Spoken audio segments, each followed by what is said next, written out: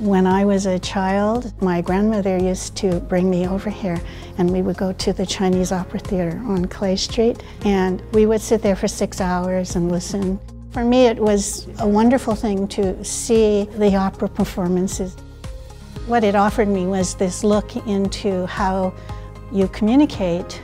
It encouraged me uh, always to be empathetic to other forms of art. I look at art as a voice.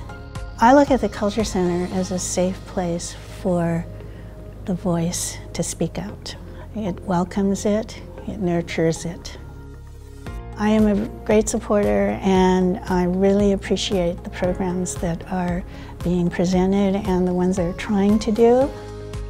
You've asked about what is very important to me about the center is it's now about what the place is for the people who are here now and how they look at how they're making the history here. What do I love about supporting the arts? It expands your horizons. Being the typical Asian American, I was strong in math, strong in science, but as I grew older, I realized that I was very limited because of that. To be able to see and support these people, to be able to expand those endeavors and skill levels, that's where the support comes from.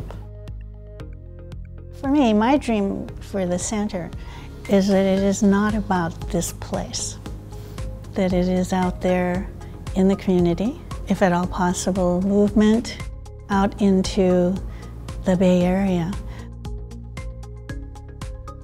Well, I think we're both deeply honored to receive the Lifetime Achievement Award from the Chinese Culture Foundation. I look at this as a great honor for Richard and I, but I really want to give the shout out to all those people who really helped us in this. And so for me, it's remembering all those people who worked with me. My goodness, the last 25 years here.